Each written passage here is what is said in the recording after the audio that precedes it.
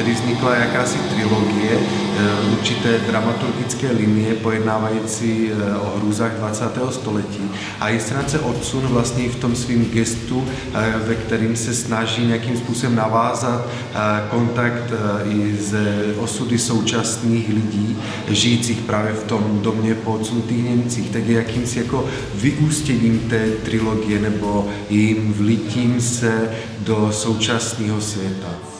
Uráží tě to být tady s námi, nebo, nebo proč mlčíš? To spolu tak málo. Mami. Já nevím, jestli na to pohlížíte i takhle. Musím mít. Že se o tom nebudeme bavit. Pozdějc. Ty později.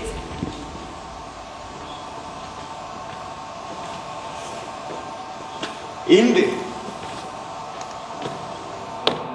Já jsem hrozně sám, hrozně sám. Já už vůbec ničemu nerozumím, já už rozumím jenom tomu, že jdu každé ráno z ložnice do kuchyně, pak procházím chodbou, z chodby do, do obýváku, z obýváku do zahrady, zase, zase do... To je, to je, co je? No to, to je jako ta moderní krása člověka, nebo co? Primární pro nás nebyla jenom nějaká jako dokumentární hodnověrnost, ale spíš jako, že ten náš náhled na tu problematiku.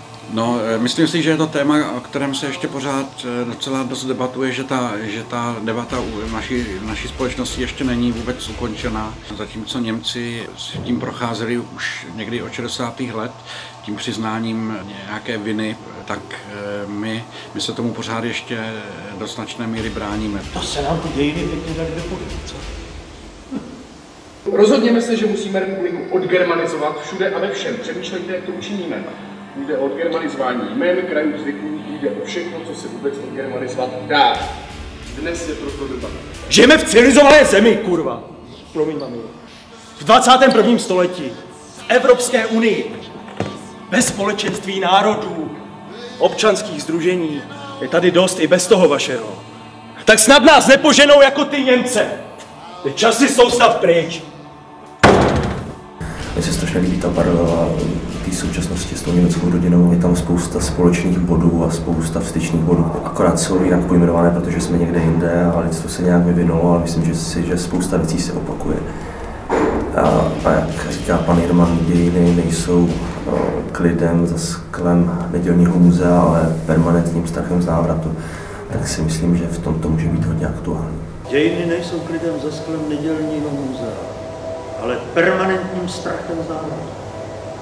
A jediná jistota, která nám zbývá, je to neukončenost. Nic nekončí zcela.